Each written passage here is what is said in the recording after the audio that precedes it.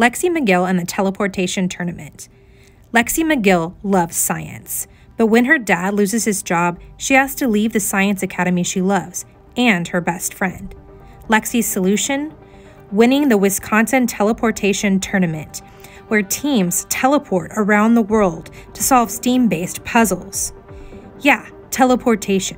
You know, instantly traveling between two locations without actually crossing the physical space between them. But Lexi needs a team. She recruits two kids from her new school, each with their own skills and problems. Can they come together to take top prize, or will their differences be too much to overcome?